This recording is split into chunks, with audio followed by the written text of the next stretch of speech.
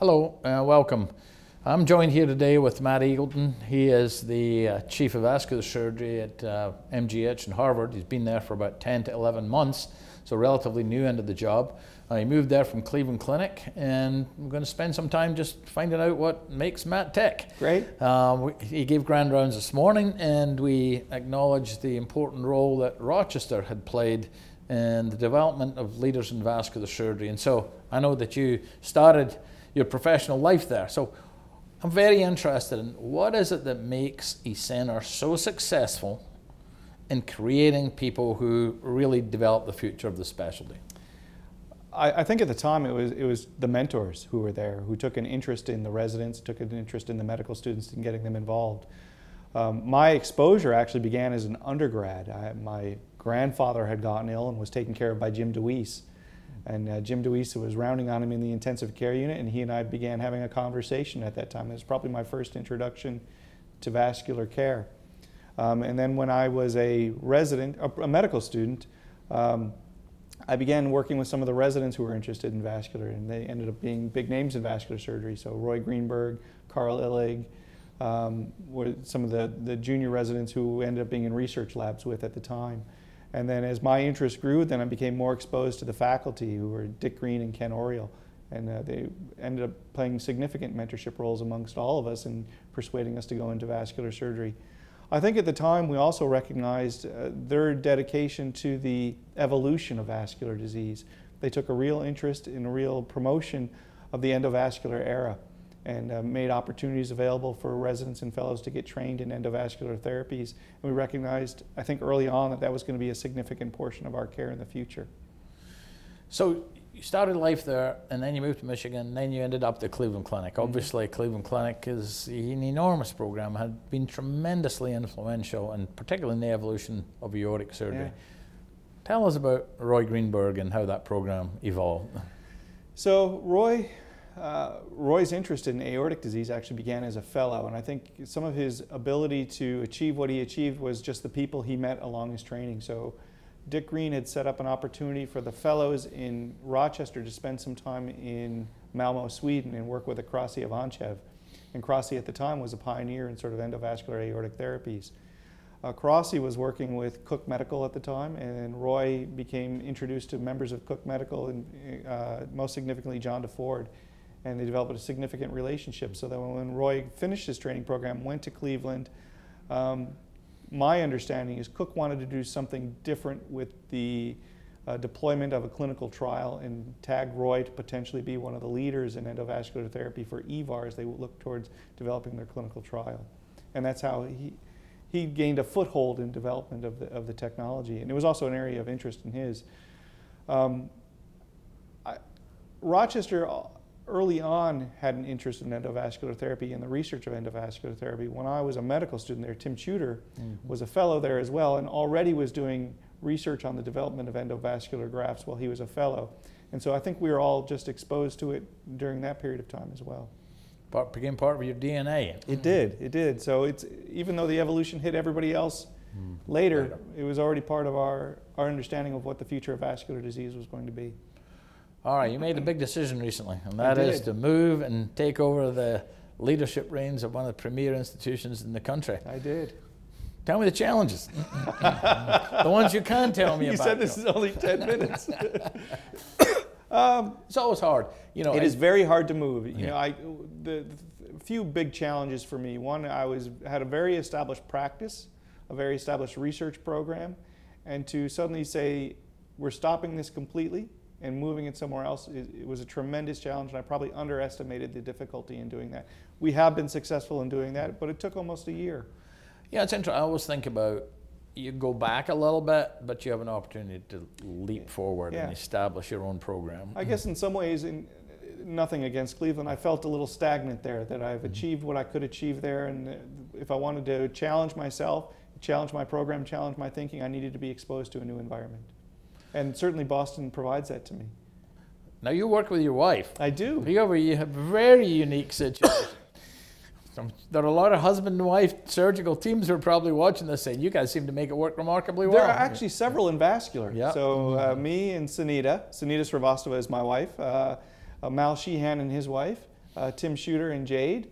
Um, I know there's another couple out there, I think, that are in the New York City area in, in private practice. I don't know their names, but um, not so unique for us. You know, when you spend all your time in the hospital with the same people, um, ultimately relationships happen. So when the nanny doesn't turn up first thing in the morning, who stays home?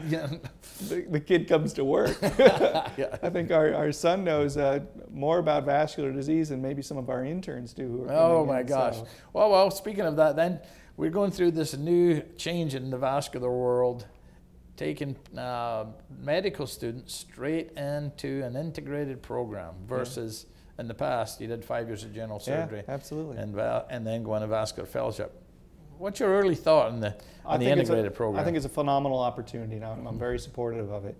Uh, in Cleveland, we have the, the privilege of having both programs and running them in parallel. I, I say running in parallel because they, they're considered two separate programs, but the reality is if you're going to have both, they integrate with each other and they, they feed off each other, teach each other, and complement each other, I think. and I don't think we should get rid of one over the other. I think those opportunities ought to exist for people who've done general surgery and want to seek additional uh, training in vascular surgery. Um, my view of the trainees is they're very different as they enter the program. Um, obviously, the, you enter just out of medical school, you don't have a, great knowledge base or experience in treating patients. But once they get to, say, the fourth year, or that we're starting to treat them equivalent to a fellow, the vascular residents are much better at endovascular skills, in my observation, and much better in their understanding of vascular disease. And that's because they've been exposed to it in a much more intense fashion than the, someone who's in their general surgery training. The general surgery residents, though, are better at identifying and managing patients that are, are critically ill and potentially doing open operations, although that may be starting to fade now as open operations are disappearing in the general surgery field as well. Um, by the end of the program, they, they start to equilibrate with each other, though, and I know within a, at least a year of practice, there's probably no difference between the two groups. I yeah, don't know what your experience I, no, has been with that. I think it's, we, it's very similar. We run both of these programs. I really don't want to be excluded from hiring the person who later on decides they want to yeah. do vascular surgery. So, you know, our experience is very similar to what yours is. We finished a couple of the integrated residents and they've been superb actually, yeah. beyond what I really thought we were going to be able to achieve. So I think both programs can work. Um, you know, the, like you, the increase in concern is open operative skills, particularly yeah. around the aorta. And, you know, how are you going to handle this? I have been privileged to be in institutions where we have a plethora of aortic disease, and so our ability to, and we provide a, a, a wide spread of aortic care from complex aortic disease to complex open endovascular aortic disease, complex open aortic disease. So I'm not concerned about our trainees in Boston. I certainly wasn't concerned about it in Cleveland about them getting experience. I am concerned about it though at other smaller programs where they don't have an aortic center, they don't have that focus of aortic disease. I suspect those trainees will struggle to get aortic training. Um, I don't know how this will change over time, whether we will have to have centers of excellence within the country where people go to get trained in aortic disease. I, I suspect that's going to be true. Or there will be fellowship programs available in aortic disease for people to get additional training that they lack.